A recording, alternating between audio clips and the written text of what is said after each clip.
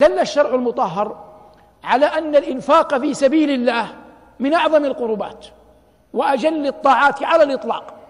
وكان أبو ذر رضي الله تعالى عنه وأرضاه يحث الناس على الإنفاق.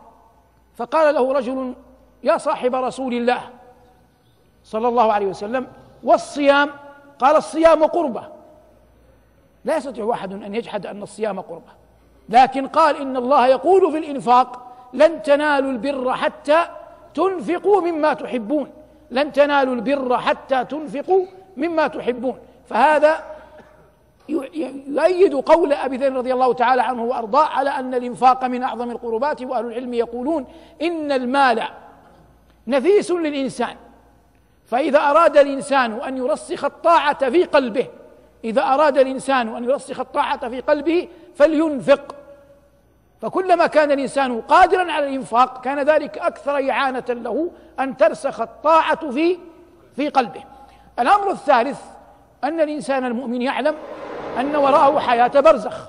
ربنا رب العزة والجلال يقول ومن ورائهم برزخ إلى يوم إلى يوم يبعثون ومعلوم أن الحياة الدنيا على ظهر الأرض وأن حياة الآخرة على أرض المحشر ثم إلى جنة أو إلى نار.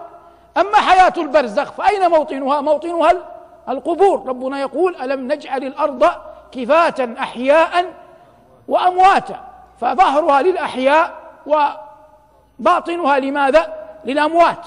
هذه القبور يقول صلى الله عليه وسلم في الحديث الصحيح يقول إن الصدقة لتطفئ عن أهلها حر القبور. إن الصدقة لتطفئ عن أهلها حر القبور.